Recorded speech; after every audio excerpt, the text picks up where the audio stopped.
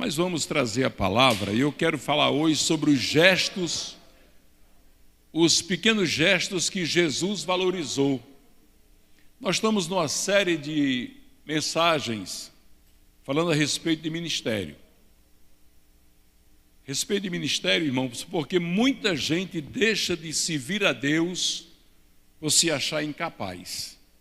Você sabia que esse é o principal motivo de muitas pessoas que poderiam fazer muito pelo reino de Deus e não fazem porque se sentem incompetentes ou acham que aquilo que vão fazer é pequeno demais.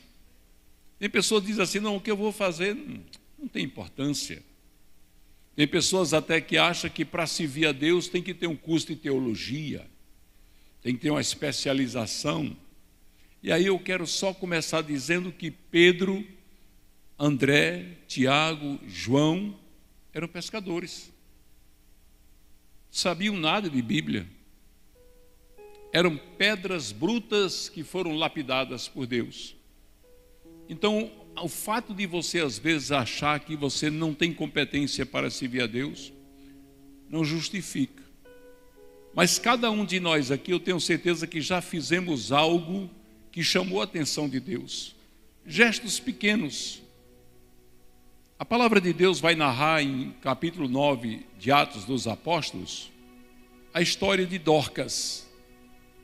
Dorcas era uma mulher cheia de amor. O que foi que essa mulher fez?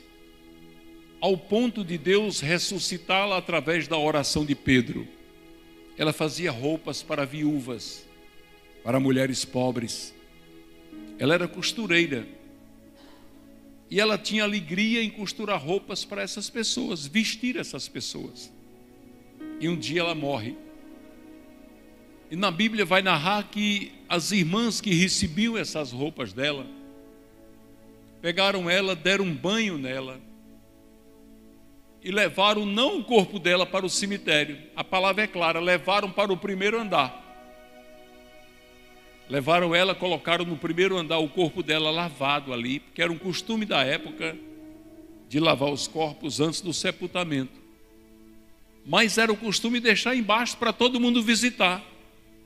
E eu observo nessa leitura bíblica que essas irmãs não queriam que os outros vissem Dorcas morta.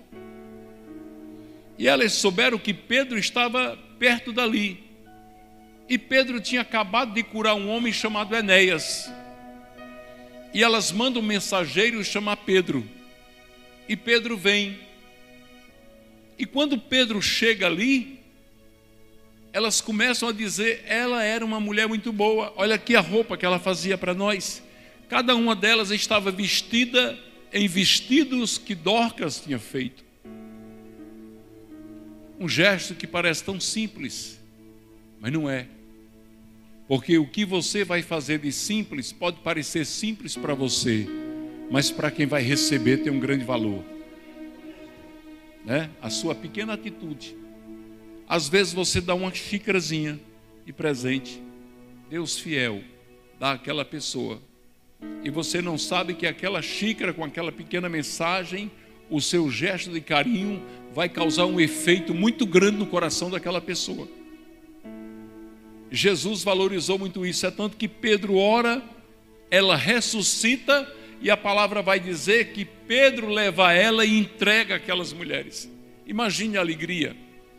Pedro pediu que todo mundo descesse, desçam daqui, desçam, não fiquem aqui. Por quê? Porque havia pranto, havia choro.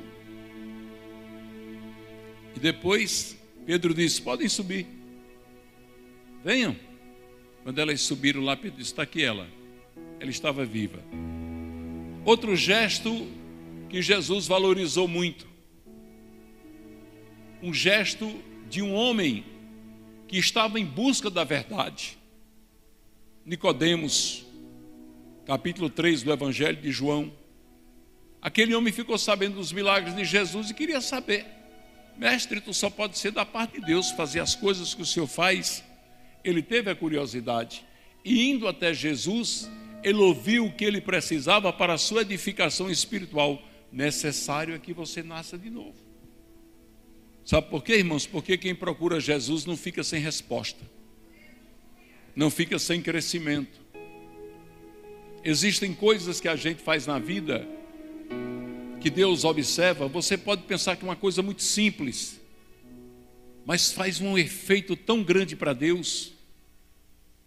Quando eu desço aqui para a igreja, geralmente tem um rapazinho ali no sinal do macarrão. O nome dele é Mauro. E sempre que eu passo, eu dou um dinheirinho a ele. Eu sei que dou um pouquinho a mais do que os outros costumam dar. E eu observo que quando eu venho, que ele vê a caminhonete, ele já abre um sorriso. Lá vem o pastor Chico. Vai sair uma nota de 10 aí. Hã? Eu abaixo o vidro do carro, Mauro, Pai do Senhor, está aqui o dinheiro para você. Eu quero ir na sua casa, vou visitar a sua mãe. Tá certo, tá certo. Ele começa a perceber que tem pessoas que valorizam aquele trabalho dele, que aquilo ali não é mendigância, não, aquilo ali é um trabalho, é com aquilo ali que ele tira o sustento da família dele. E um dia, conversando com ele, parei e comecei a conversar com ele para saber da vida dele. E ele disse: Olha, minha mãe tem seis filhos, acima de mim só tem um. Meu pai nos abandonou todos e foi embora. E eu estou mantendo a minha família com isso aqui. Você veja como é importante você ajudar quem está na rua. Você acha um faminto, dá ele um pão, que para qualquer pessoa não tem valor, um pão. Mas para ele tem um valor tão grande que vai saciar a fome dele. E eu preciso contar uma história. Um dia, uma mulher chegou na, na rádio e TV Pão da Vida, ela, sua filha e sua irmã. A irmã dela que levou ela até lá. A irmã dela, ouvinte da rádio, morando na capital do estado, levou ela lá e, pastor, eu trouxe minha irmã aqui para o senhor conversar com ela, aconselhar ela. Eu comecei a conversar com ela. E a filhinha dela estava do lado. E quando ela começou a falar da separação dela, do momento difícil que estava vivendo longe do homem que ela amava e ama, a filhinha dela disparou no choro. E eu vi nas lágrimas daquela menina as minhas lágrimas quando meu pai abandonou a nossa família. E meu coração doeu. E eu disse: Eu queria tanto falar com ele. O marido dela, ela disse: Ele está vindo para cá, vem buscar a gente. E ele estava vivendo com outra pessoa. E eu disse: Quando ele chegar, eu quero falar com ele. Ela disse: Está certo. Eu saí de perto dela e fui orar. E a minha oração a Deus foi: Senhor, amolece o coração deste homem. Eu não conheço ele, mas o Senhor conhece. Eu não sei o que se passa na cabeça dele, mas o Senhor sabe. Eu não sei se o coração dele é duro ou é mole, mas o Senhor disse que arranca o coração de pedra e bota um de carne. Então, Deus, eu creio na tua palavra e eu creio que quando eu começar a falar com esse homem, ele vai sentir que é o Senhor falando com ele. Eu quero ser o teu mensageiro. Fiz a oração, fiquei orando em espírito, que a melhor coisa na vida do crente é orar em espírito. É você e Deus. E tem uma vantagem, irmãos, pode ter muitas pessoas à sua volta, você ora em espírito sozinho naquele momento ali. Está todo mundo falando, você está ouvindo a voz de todo mundo, mas aqui, ó, a oração que o diabo não escuta. Aí o homem chega, educado, eu começo a conversar com ele e sinto a emoção dele, vi as lágrimas dele, eu falei, Deus amoleceu o coração do homem. Já veio para cá com o coração bem molinho. E ali na rádio, naquele momento, foi feito novamente a união desse casal. Ele já saiu dali decidido a deixar outra mulher e voltar para sua esposa e para sua filha. E naquele dia foi um dia que na minha oração eu agradeci a Deus por novamente ter unido essa família. Essa família é a família do irmão João e da irmã Kaline. Deus fez naquele dia o que ele mais gosta de fazer, responder às nossas orações. E um dia, no meu aniversário, que dia 14 agora faz um ano, a filhinha dela estava aqui com cartaz dizendo obrigado por restaurar nossa família. E eu disse: não fui eu, foi ele. Foi Ele. Louvado seja o nome de Jesus. Quando você pratica um pequeno gesto, a resposta de Deus vem. Ele não deixa você sem resposta. Na vida de Dorcas, Jesus ressuscitou Dorcas. Na vida de Caline, Deus restaurou o casamento dela. E o pastor João, porque ele tem, ele tem chamado, é, será um grande obreiro da casa do Senhor. O que é que eu quero dizer com isso? Eu quero dizer que você nunca perca a oportunidade de usar o poder de Deus que repousa sobre cada um de nós. Cada um de nós. Um dia eu fui mais a pastora Jossanete lá, lá dentro, na favela do Fio. Me levaram lá. Lá no Chuva de Bala. Me levaram para orar por uma mulher. Ela estava numa cadeira de roda, cabecinha raspada, roxinha. Ela era uma morena, mas estava roxa. O médico tinha mandado para casa para morrer. O médico tinha dito: não, ela, o câncer dela já está no estado terminal, já metástase no corpo todo. Leve para casa para ela passar os últimos dias com a família. Cheguei lá, ela estava tristinho na cadeira de rodas, os netinhos brincando na sala. E quando eu cheguei, que olhei ali, estava eu, a pastora e algumas pessoas, alguns irmãos, eu olhei aquela pessoa ali e o que me veio foi a imagem dela olhando para aqueles netos dela. Eu disse, Deus, a oração dessa mulher deve ser: Jesus, me deixe ficar mais um pouquinho. Me deixe ver meus netinhos crescer, porque quando eu infartei, eu pedi isso a Deus: me deixe criar Gabriel. Gabriel era muito pequeno. Né? Gabriel, na época, tinha cinco anos. E na hora eu passei um azeite na cabeça dela, pedi ela para tirar o paninho que ela tinha na cabeça, passei o azeite na cabeça dela e comecei a chorar, dizendo: Deus, tu podes. Se o Senhor quiser, tu podes. O poder está em ti. Tu restauras. Tu és o Deus que arrancou Lázaro da tumba. Né? Tu és o Deus que ressuscitou a filha de Jairo. Tu és o Deus que podes, Deus. Então, se for da tua vontade, restaura a vida dela. E se não for, conforta o coração dela, se for a hora do chamado dela para partir. E viemos embora. O tempo passou e eu passei uns dois ou três dias pensando naquela mulher, depois esqueci. Passado assim uns 20, 30 dias, estou lá na calçada do Magazine Luiz, olha. Eu falei, não acredito não. Ela disse: Está me conhecendo? Eu olhei assim, rapaz, as lágrimas começaram a correr. E ela disse: Jesus me curou. Eita glória! Jesus me curou. Ela disse: Não sinto nada. Estou curada. E eu saí dali tão feliz que tinha hora que dá vontade de voar naquela calçada, sabe? E eu falei: Deus, como tu és poderoso. A tua oração, você que está me escutando aí, você que acha que a tua oração não tem valor, meu irmão, quando você ora, você move o coração de Deus. Exerça o ministério. Jesus disse assim: Em meu nome expulsarão os demônios, imporão a mão sobre os enfermos e eles serão curados. Serão curados. Tem gente que diz: Não vou orar, não, pode Deus não curar. Sabe como é que eu penso? Vou orar. Se ele quiser curar, ele cura. Se ele não quiser, ele não cura. Porque o doutor está consultando gente todo dia, está operando, é morrendo gente, ele continua doutor. Se Deus curar, eu sou servo. Se ele não curar, eu continuo servo. A vontade está nele, ele é que decide. Não vai impedir a minha oração, o meu pensamento de que ele vai ou não vai curar. Quando o João estava vindo lá para a rádio, eu poderia ter dito: esse homem não vai voltar, não.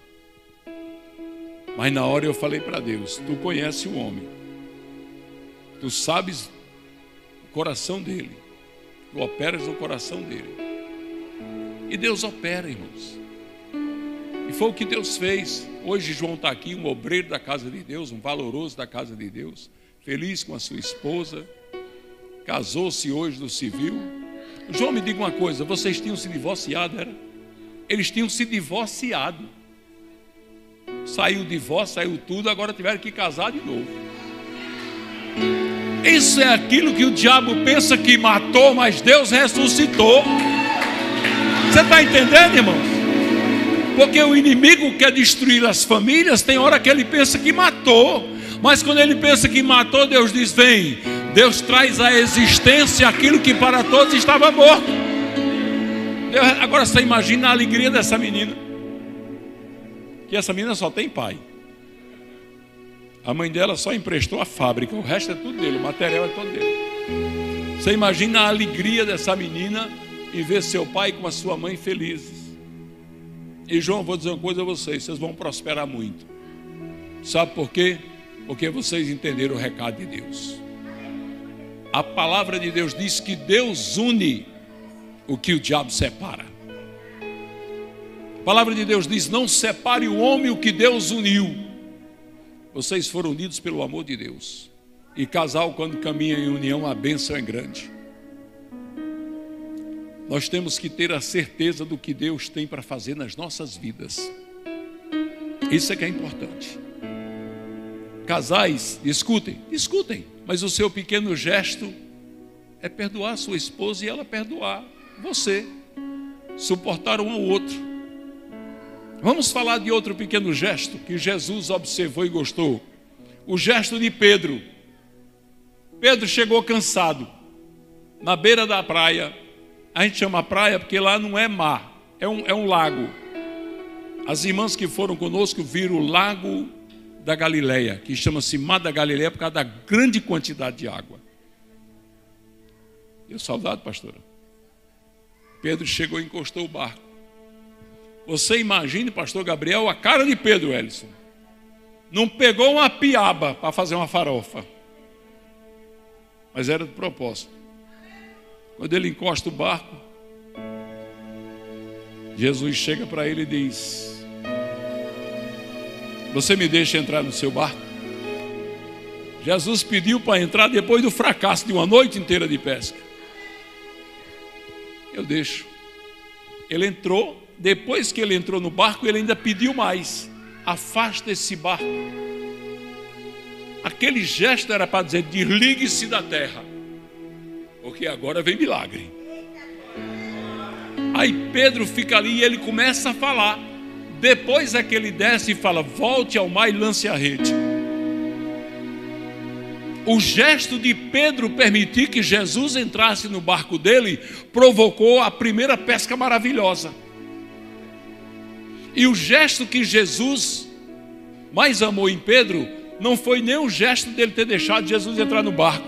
Foi quando as redes se encheram de peixe, a palavra vai dizer que Pedro chamou os outros pescadores para vir buscar peixe. Vem buscar, vem buscar, tem muito peixe aqui, tem muito peixe. Ele dividiu a bênção que Jesus estava dando para ele. Aí Pedro sai de dentro do mar olhando para Jesus. Naquela hora ele já estava pensando, mas quem é esse cabeludo? E ele olha para Jesus e diz: Senhor, se afaste de mim, eu sou um pecador. Ele estava dizendo: Eu não sou digno de estar perto do Senhor que faz um milagre tão grande como esse. E Jesus disse: Você não entendeu nada, Pedro. Pedro, eu vim atrás de você porque você tem coragem de dividir. Você não quer só para você, Pedro. Por isso que eu vim atrás. Vou fazer de você um pescador de almas. Ei, quando você divide, Deus multiplica na sua vida. E hoje Pedro está na história sagrada, no livro, como o discípulo escolhido por Jesus para ser pastor da igreja, o pastor presidente da igreja primitiva. Outro gesto bonito foi as lágrimas dos viajantes de Emaús. Eles viam na estrada tão triste, depois de Jesus crucificado. Era domingo, eles estavam voltando, conversando. Como é que pode? Como é que pode? Aquele homem tão poderoso deixou-se matar. E eles vinham desiludidos e Jesus apareceu no caminho e não deixou que eles percebessem que era Jesus. Jesus falou dos profetas, das escrituras, que aquilo tinha que se cumprir. Jesus estava confortando ele como fosse uma pessoa qualquer. Mas quando o gesto deles em convidar, olha aí, como já era tarde, a noite estava chegando, eles disseram: Senhor, a noite está chegando, não prossiga sua viagem, fique aqui conosco. Eles ofereceram abrigo a Jesus. Quando Jesus entrou na casa deles, a Bíblia é clara, a Bíblia diz que Jesus ia passando direto. Ele, não, não, não vai embora, não, fique conosco. A noite está chegando. Fique aqui. Quando Jesus entra e senta na mesa, eles pegam o pão e faz o quê? Entrega a Jesus. Sem saber que era Jesus. Entrega o pão a Jesus. Coma primeiro. Aí Jesus pega o pão e divide o pão. E a Bíblia diz que quando Jesus partiu o pão, na medida que ele ia partindo, ele ia se revelando a eles. Quando ele partiu, que eles olharam, é o Senhor.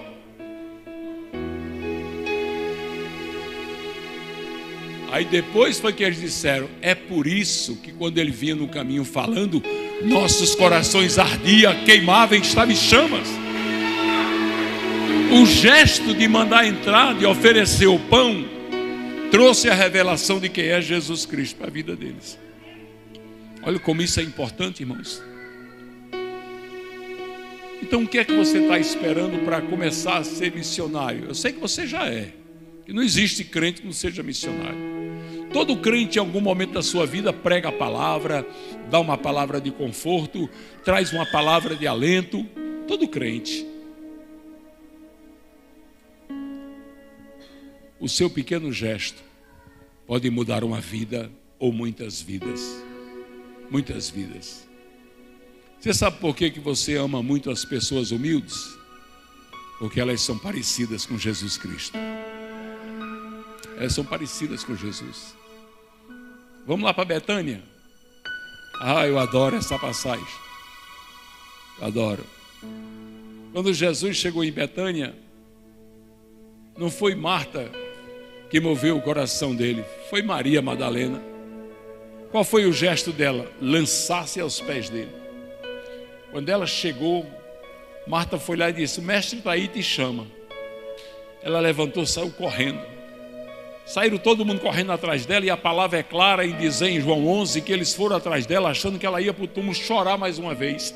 Mas dessa vez ela não foi para o lugar da morte, ela foi em encontro da vida. Dessa vez ela foi em encontro de Jesus Cristo. E quando ela chegou lá, ela jogou-se nos pés dele. E em lágrimas, aí está o gesto. Ela dizia a mesma coisa que Marta disse: Se tu estivesse aqui, meu irmão não teria morrido. E a palavra diz que Jesus, olhando para ela, nos pés dele, olhou para os que estavam com ela também chorando. Jesus se perturbou no seu coração e também chorou o nosso gesto de respeito, de amor, de reverência, arranca as lágrimas dos olhos de Deus. E quando Deus chora, vem milagre logo depois. E Jesus vai para o túmulo e ressuscita Lázaro. Transforma a sua casa na casa de Marta, Maria e Lázaro, porque muita gente acha que Marta estava errada. Jesus só falou que ela estava fadigada. Toda Marta é fadigada. Marta, quando amanhece o dia, essa Marta aqui, não deixa nem Elcio pentear os cabelos. Já vai logo correndo fazer o café. Igual a minha. A minha, quando ela ameaça o dia, já vou descer fazer o café. Eu digo, peraí, eu dei menos um abraço. É.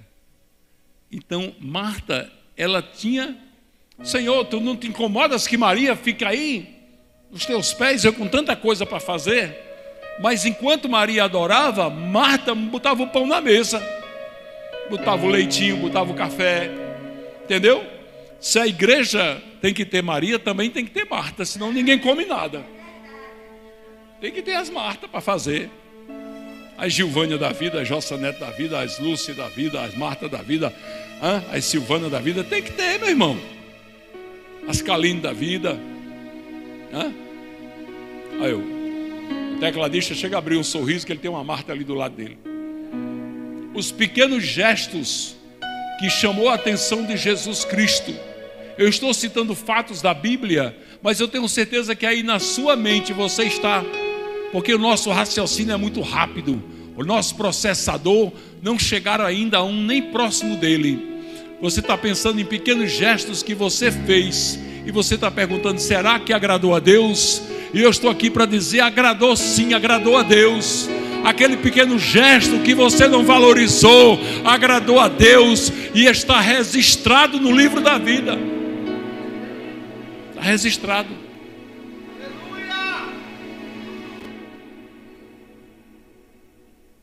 Aconteceu um negócio comigo que eu até hoje eu fico feliz com isso.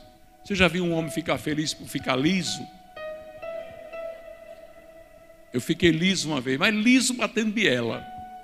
Se aparecesse um menino vendendo um dindim por 50 centavos, eu não podia comprar. Eu estava na igreja, no som, o dinheiro que eu tinha no bolso era 100 reais. Chega uma mulher com uma criança assim outra no braço. E eu olhei, eu estou aqui assim, olhei assim, tá na igreja do pastor Florencio, era lá perto do Vucu Vucu nessa época. Eu olhei para a mulher assim, fiquei com dó dela. Quando eu virei aqui, Deus falou no meu coração, dá os 100 reais para ela. Eu falei, não. Lembra, amor? Você lembra como fosse hoje, não lembra? E eu, não, isso não apareceu da mensagem de Fusquinha, como é que eu vou ficar? Estou lá e olhei para a mulher, Deus, vai lá, deu dinheiro a ela. Falei, Jesus, não é o Senhor que está falando, não. Não é Deus. Me perdoe, mas essa voz aí, o Senhor não quer que eu fique liso. Eu com arrumo de filho dessa. E Deus falou mais forte, deu dinheiro a ela. Eu, tá bom, tá bom, tá bom. Aí foi lá e falar com ela. Falei, nega, Deus está falando para mim dar os 100 conto para essa mulher aí. Eu só tenho esses 100. Ela falou, dê logo, homem, está conversando. Eu falei, pronto, a mulher está de complô contra mim. Fui lá, pau, os 100. Quando eu dei os 100, ela disse, meu marido está preso. Não foi, amor? Eu vim aqui para pedir uma ajuda a comprar o leite do meu filhinho, porque meu marido está preso. Eu falei, pronto, dá 100 conto para um ladrão. Agora é só o que faltava. Naquele dia, quando eu cheguei no estúdio, uma empresa que estava chegando a Mossoró fechou uma propaganda comigo e me entregou na mão mais de 3 mil reais. Vou pagar metade. Na hora que o seu terminar o seu tira nota fiscal, a gente paga outra metade. Fechou quase 8 mil reais de propaganda. Eu falei, nega, chama aquela mulher que eu quero ela bem pertinho de mim. Vou dar 100 conto a ela todo dia. Vou pagar ela para todo dia ela vir na igreja. Sabe por quê? Porque o seu pequeno gesto atrai a multiplicação de Deus para a tua vida. A multiplicação. O menino da pesca. Estou todo arrupiado aqui. Eita glória. O menino da pesca já multiplicava. Aquele menino, qual foi o gesto dele? Imagine Pedro chegando. O Besto está pedindo aí, põe os peixes. Bichinho, tome. Ele entregou. Mais de 5 mil pessoas com fome. Jesus leva para o céu. Porque o teu pouco consagrado a Deus vai trazer muito para todos que fazem parte da sua vida. Aí vocês sabem o que é que a Bíblia fala de quanto sobrou? Doze cestos doze cestos de pão e peixes. Meu Deus, que coisa impressionante.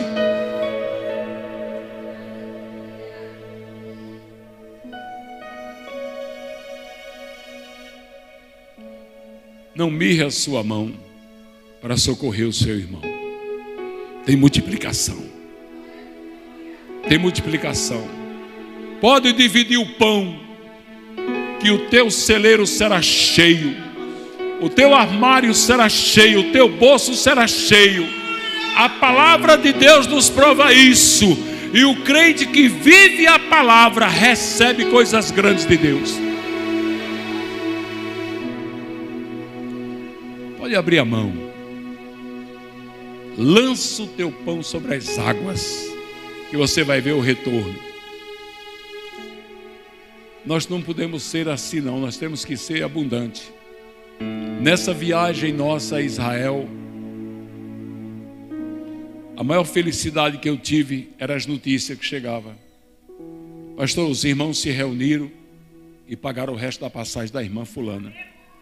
Pastor, os irmãos se reuniram e deram dinheiro a fulano. Pastor, os irmãos se reuniram deram dinheiro a fulano. Pastor, a irmãzinha disse que não tinha dinheiro para comprar nada, se reuniram deram 200 dólares, 300 dólares a ela. Pastor, os irmãos se reuniram sem pedir nada a mim, sem falar nada comigo. Eles mesmos se reuniam e faziam tudo. E eu disse, que bom, Jesus. Eu sei que o Senhor tocou o coração desse povo e esse povo tem entendido a tua mensagem do pequeno gesto de abrir a mão para receber mais. Jesus disse: melhor é dar do que receber. Ele estava dizendo: é melhor você ter para dar do que precisar pedir. Ele está dizendo: se você der, nunca você vai pedir, porque eu suprirei todas as suas necessidades palavra de Deus, irmãos. O crente tem que viver a palavra. No tempo que eu e a pastora vivia matando cachorro a grito, chamando urubu de meu louro, por causa da vida financeira, muitos filhos para dar de comer, eu dentro de um fusquinha, correndo para cima e para baixo. Quem lembra dentro de um fusquinha? Levanta a mão assim, quem lembra? Vixe, amor, todo mundo sabe, ó. Nós ficamos famosos. Chegava final do dia, eu dizia quanto a gente ganhou, quanto a gente ganhou. Ela fazia lá, ganhamos X. Vamos lá no Cebozão? Vamos. Eu chegava no Cebozão, eu fazia de propósito, não vou mentir. Aquela ruma de gente lá, eu chegava e dizia, quero 200 cachorro quente. Cara, quantos? E 200. Dois em cada sacolinha. Era ou não era? a gente ia para a rua dar de comer os moradores de rua. Comprava linguiça, ela fazia cuscuz, ia para a rua. Garrafa de café, outra de suco, dava de comer. Três horas da manhã, três e meia, quatro horas da manhã. Ei, irmão, acorda, acorda, o bichinho dormindo, morrendo de fome. Trouxemos comida para você. Debaixo de chuva, a gente levava os cobertores, dava de comer, vestia ia para os hospitais uma vez, eu e ela ficamos a tarde inteira no hospital com um que tinha quebrado o pé. Ninguém queria atender. Foi até a mulher do pastor Fabiano Maia que nos ajudou a atender ele lá. Depois trouxemos ele para casa. Está escrito na Bíblia. Hã? Eu estou fazendo, não é para ele, eu estou fazendo para Jesus. Jesus, se eu disse que se eu fizer, se eu plantar, eu vou colher. Estou plantando. E aí as bênçãos vinham. Então, o que eu quero dizer para você é que o seu pequeno gesto vai atrair os olhos de Deus sobre a sua vida. E quando ele olha para você, ele vê a sua necessidade, ele vê a sua enfermidade, ele vê o seu sorriso que se apagou, ele vê a sua família que não vai bem, ele vê o que mais te entristece e ele vai dar uma geral na sua vida. Uma geral. A igreja está entendendo essa mensagem? Nunca queira para você, só para você o que Deus te dá, só para seus filhos o que Deus te dá. Sempre distribua. Eu vou contar para vocês. Que hora é, amor? Pronto, nove horas. Eu vou só contar isso aqui, porque é um fato acontecido da minha família. Eu não posso falar. Eu tinha um irmão chamado Joselito, o filho mais velho da minha mãe, dos vivos, porque teve Antônio de Pádua que nasceu e uns dois, três anos depois faleceu. Joselito, ele era um homem casado, pai de um casal de filhos, foi para a Sul trabalhar com meu pai. Meu pai saiu de lá e deixou a relojoaria para mim e ele. Era para nós dois. Presta atenção, história acontecida na vida do pastor Chico Chagas. Se eu aumentar ou diminuir uma vírgula, eu quero que Deus me mate. Quando ele viu a relojoaria, porque a relojoaria de papai dava muito dinheiro na época, ele logo começou a criar problema comigo. Criou problema, criou problema, criou problema, ao ponto da gente chegar a trocar tapa dentro da relojoaria. Resultado, eu solteiro, ele casado, eu o filho mais novo, que eu era o caçula, ele o mais velho, quem saiu perdendo? Davi. Meu pai me tirou de lá, me trouxe me empregou aqui em S. Garcia Joia, Severino Garcia. Fui trabalhar de relojoeiro em Severino Garcia, ele ficou com relojoaria. Ele enricou, ficou bem de vida, comprou casa, relojoaria no centro da cidade. No tempo que Dodge Dart era carro de rico, ele tinha um zero. Naquele tempo só possuía quem tinha dinheiro. Lá em, lá em só tinha ele Zezinho André, que tinha sido prefeito lá. E ele chegava na casa de mamãe, ali na ilha de Santa Luzia, eu morando com a minha mãe. Ele chegava lá, daqui para Deus, ele arrastava assim e dizia: Olha aqui que eu ganhei hoje. Os bolos de dinheiro. Mamãe dizia: Me dê um dinheirinho, meu filho. Ele dizia: Perdoe, não tem não. Desse jeito. Se tiver algum irmão meu aí assistindo, irmão de família, sabe que o pastor Chico Chagas não mente. Eu vi aquilo e ficava triste. Meu irmão Raimundo Nonato mudou para Goiás, operou os olhos, me chamou para ir para lá tomar de conta da relojoaria dele lá em Porangatu, no estado de Goiás. Eu fui. E ficou aqui, ganhando dinheiro, ganhando dinheiro, ganhando dinheiro e mamãe nada. E um dia a mamãe falou para ele: Meu filho, você tem tanta rede boa na sua casa, traga uma rede para sua mãe. Não trouxe. Eu fui para lá. De lá de Goiás, meu irmão, que hoje é pastor em Marabá, no estado do Pará, passou no concurso da Polícia Rodoviária Federal, passou no concurso do Banco Brasil, passou no concurso de oficiais da PM, preferiu o Banco do Brasil, foi Banco do Brasil, me deu a relojoaria dele. Foi uma grande bênção para mim. Poucos anos depois, quem é que chega lá? Zelito. Buscando um espaço. Acabou com tudo que tinha, não tinha mais nada. Chegou lá magro, seco, doente. E eu acolhi ele. Olhei, dei roupa, dei de comer. Eu tinha a minha casa, um ponto comercial e uma casinha do lado. Dei a casinha para ele morar. Cuidei dele dava meu carro para ele andar. E um dia eu falei para ele: Sabe por que você veio para cá? Pelo que você fez comigo lá em Açu. Você me botou para fora da relojoaria que era para ser minha e sua. Se você tivesse me aceitado lá, nós estávamos hoje ricos, porque a sua era uma praça muito boa para isso. Ele começou a chorar. Porque mamãe pediu e você nunca deu. Ele chorando. Eu disse: Mas agora você veio aqui, pagou a sua dívida para comigo. Pode ser que Deus tenha misericórdia de você e lhe levante novamente. A mamãe, ele passou comigo lá uns dois anos, veio embora. Ele era alcoólatra, mas veio embora porque ele quis, não foi porque eu mandei, não. Veio embora para Mossoró, foi morar no fundo da casa da minha mãe. Aí a pastora Jossanete que alcançou.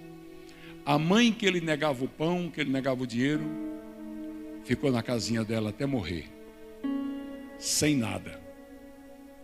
Por que, que o pastor está contando essa história?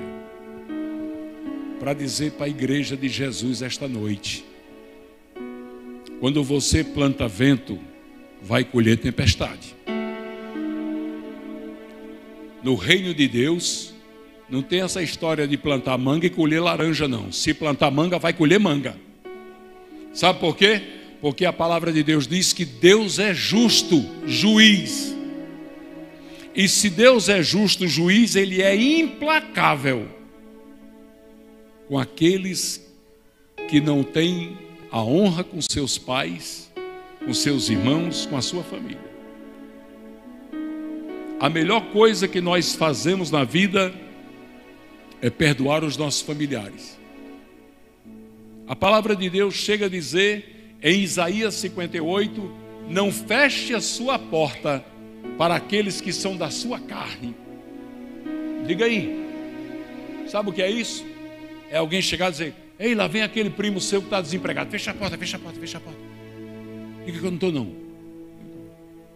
Ligou, quem é? Fulano, vixe, vixe, vixe. Atenda não, atenda não, atenda não. Não feche a sua porta para os que são da sua carne. É uma ordem de Deus. No capítulo 11 do livro de Marcos, o Senhor diz: quando você estiver orando, quer dizer, quando estiver falando comigo, lembre se tem alguma coisa, alguma coisa é qualquer coisa, contra alguém.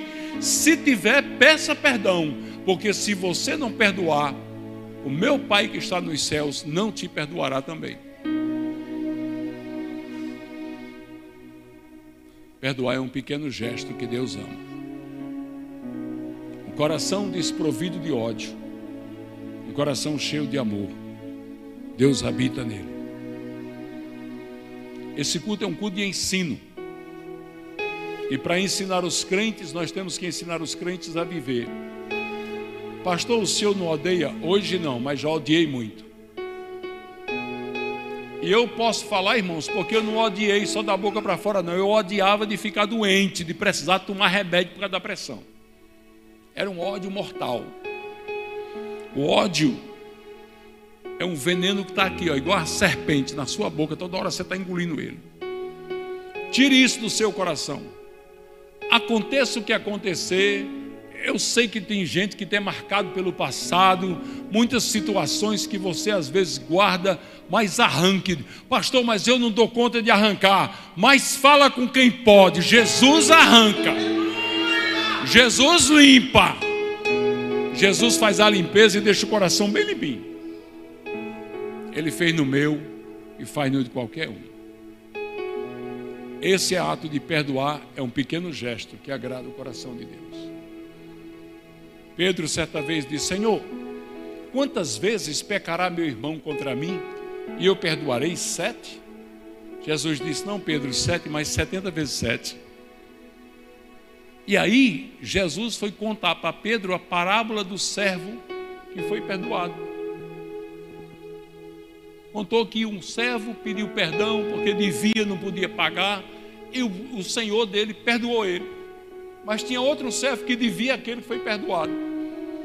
E ele não perdoou e entregou eles para ser castigado. E aí o Senhor que perdoou mandou chamar ele e disse: Mas você, eu perdoei você, e você não perdoou seu irmão. Eu lhe perdoei uma dívida muito maior, e você não perdoou seu irmão que lhe devia tão pouco. E a palavra diz que o Senhor, daquele servo, pegou ele e entregou ele aos atormentadores para ser castigado. O que é que ele estava dizendo? Era que Deus nos perdoa, mas se nós não perdoarmos, Ele vai cobrar de nós tudo que Ele perdoou. O gesto de perdoar é um dos gestos mais nobres da vida de um crente. Que a igreja aprenda isso. Pastor, mas eu tenho mágoa daquela pessoa e ela tem de mim. Se eu pedir perdão a ela, ela não vai nem me ouvir. Não tem problema. Manda uma mensagem no WhatsApp. Fulano, eu sou crente, eu estou aqui em nome de Jesus para pedir o seu perdão. Eu sei que magoei, feri seu coração, quero pedir perdão. Se ela disser que não perdoa, não tem problema nenhum. Você pediu, você fez o que Deus manda fazer. Agora não vai dizer, fulano, olha, eu estou aqui pedindo perdão, mas se você não quiser perdoar, pode ir para o inferno.